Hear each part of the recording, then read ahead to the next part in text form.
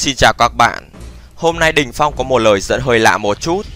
Thực ra cái video mà các bạn đang xem lúc này, Tại Hạ vốn cũng chưa nghĩ tới. Lý do là bởi Đình Phong không thích so sánh khập khiễng.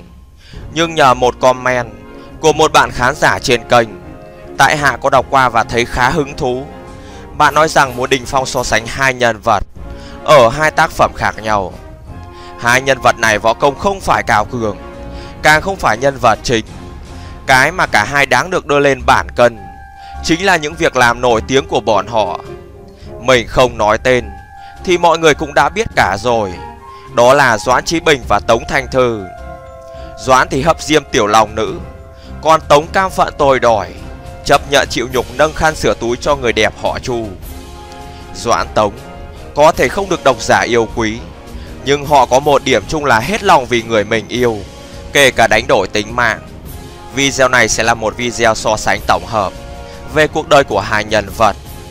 Đình Phong không biết nó có thú vị hay không, Nhưng rất mong được mọi người đón nhận. Chúng ta cùng bắt đầu nào. Đầu tiên, Tất nhiên rồi, Phải so về võ công trước. Doãn Chí Bình vốn là truyền nhân đời thứ ba của toàn Trần Giáo. Ta nên biết rằng, Y xuất hiện từ thời anh hùng xả điêu, Chứ không phải tới thời thần điêu hiệp lữ. Từng đảm nhận một vị trí trong thất tinh bắt đầu trận pháp, Cùng các sư thúc sư bá.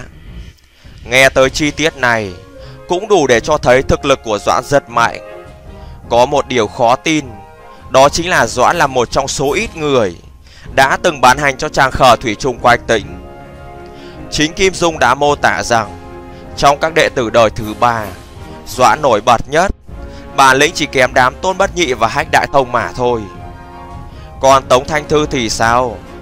Tống được miêu tả là À mà thôi đọc là thư trò dễ, Đọc Tống thì lại khó phân biệt giữa hai bố con. Vâng Thư cũng trùng hợp thay, Cũng là truyền nhân đời thứ ba của võ đàng, Được chính tác giả khẳng định tương lai trói lọi, Đẹp trai hơn cả trường vô kỵ. Võ công của y không được miêu tả nhiều ở đầu game, Nhưng tới cuối game thì bá đấy. Bá ở đây không phải căn cờ nội lực Mà bá là nhờ chiếu thức xảo diệu từ cửu âm chân kinh. Kim Dung miêu tả tại đại hội đồ sư trên núi Thiếu Thất Thư đã dùng cửu âm bạch cốt chảo Để giết chết trường bát long đầu Và chấp pháp trường lão của cái bang. Thực lực như thế, Quả thật không tầm thường chút nào. Ngay đến cả Julian Châu, Đứng đầu võ đàng thất hiệp, Cũng phải dụ hắn vào bẫy, Xử lại cốt chảo lần thứ ba mới đánh hạ được. Nếu lần đầu chạm mặt E rằng 50% có khả năng nằm đất nếu ta coi thất hiệp và thất tử là ngang hàng nhau thì khả năng Doãn và Thư khi sinh tử chiến, e Doãn sẽ sanh cỏ một cách cực kỳ tàn khốc. Ngoài võ công, ta so tới cái thứ hai, đó là tình yêu. Như các bạn đã biết, Doãn Chí Bình và Tống Thanh Thư đều có mối tình đơn phương và đều không được phản hồi. Cả hai thân bại danh liệt vì đàn bà, nhưng có một điều Doãn đã hơn Thư đó là Doãn chiếm được cái ngàn vàng của tiểu lòng nữ Cắm sừng nhân vật chính Còn Thư tuy mang tiếng cưới người đẹp Nhưng chưa khi nào được chạm ngực hồn môi Chứ đừng nói là đâm bị thóc chọc bị gạo. Thư có tiếng mà không có miếng Còn Doãn không có tiếng lại có tí miếng.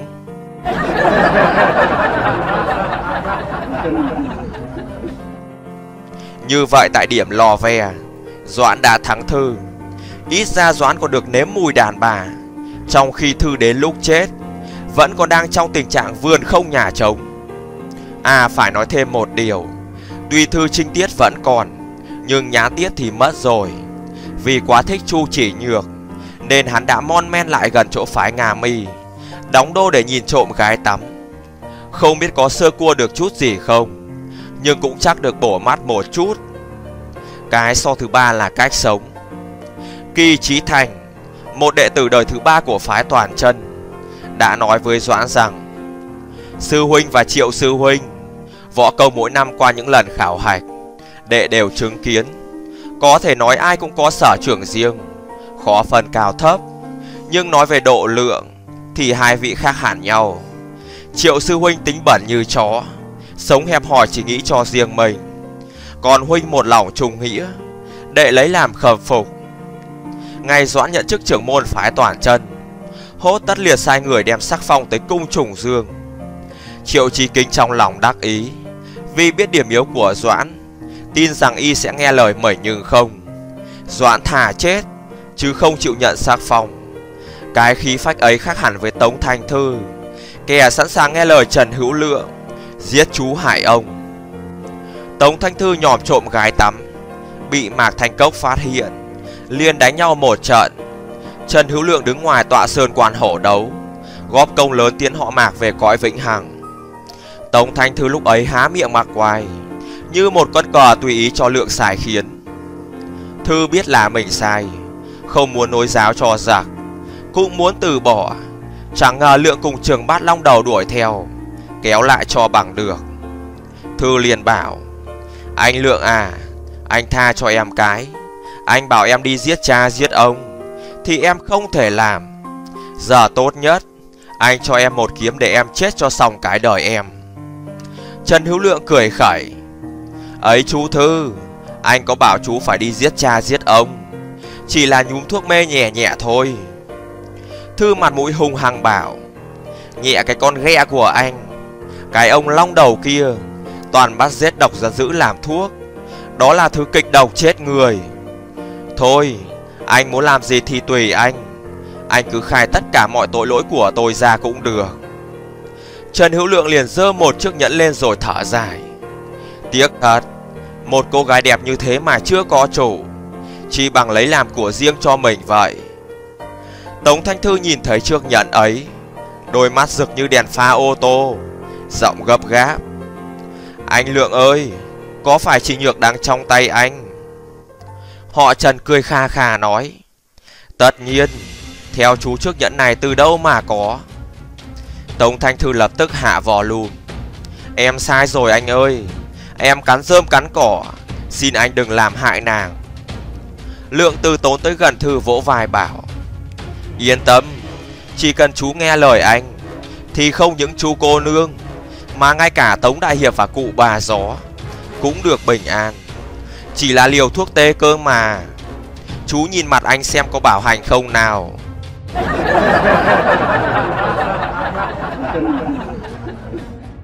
Doãn Trần Nhân, Tha chịu chết chứ không chấp nhận sai khiến. Còn Thư rốt cuộc vẫn vì gái mà chết. Điều này chứng tỏ Thư Sống không được chuẩn bằng Doãn. Cũng phải thôi khi mà Doãn và Thư Đều là những kẻ tù đạo. Nhưng Doãn tuổi cao từng trải, Còn Thư vẫn là một chàng thanh niên chưa hiểu sự đời. Điều cuối cùng được đặt lên bản cân, Để so sánh Doãn và Thư, Đó chính là kết cục. Doãn hy sinh tính mạng, Chịu một đòn cứu tiểu lòng nữ. Nàng lúc ấy cảm động lắm, Lòng căm hận hóa hết thành niềm thương cảm. Nàng dịu dàng nói, Sao huynh phải khổ như thế? Doãn Chí Bình sắp tắt thở. Bỗng nghe câu nói ấy, Thì sung sướng theo thảo Lòng cô nương, Ta Ta thật có tội với nàng. Tội nặng, Nàng lượng thứ cho ta chứ. Còn Tống Thanh Thư thì sao? Sau khi bị Du Liên Châu đánh cho tàn phế, Chu chỉ nhược lạnh lùng trả tỏ thái độ gì? Rõ ràng hắn sống hay chết, Cũng mặc kệ. Trương Vô Kỵ vì ân hận chuyện bỏ nàng theo gái, Nên lần la tới hỏi thăm. Nhiệt tình bài cách cứu chữa thư, Khiến Chu chỉ nhược càng cảm tức. Chàng ta đâu hiểu được, Nếu mình tận lực như thế, Há chẳng phải đã một lòng thể hiện Chuyện dứt tình với nhược ư. Trong khi thâm tâm của nhược bảo rằng, May quá, Thằng dại gái này nó chết, Ta lại có cơ tới với chàng Mà không mang tiếng trăng hoa lẳng lờ nữa.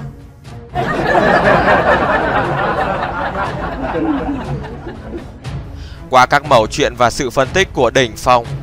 Chúng ta có thể thấy nếu xét về võ công, Khả năng Tống Thanh Thư cao hơn. Nhưng xét về các khoản khác, Thư đã thua hoàn toàn. Doãn được nếm mùi đàn bà, Lại là đàn bà đẹp như thiên thần. Doãn dẫu làm việc xấu, Xét cho cùng vẫn là kẻ trùng nghĩa, Không để cho người ta uy hiếp. Điều cuối cùng, Và cũng là điều quan trọng nhất, Doãn chết vì gái thì gái thương.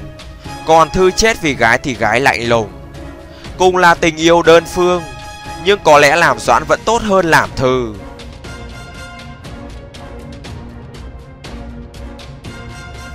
Video của Đình Phong đến đây là hết. Nếu các bạn thấy hay, xin hãy like, đăng ký và ủng hộ mình nhé. Giờ thì xin chào và hẹn gặp lại.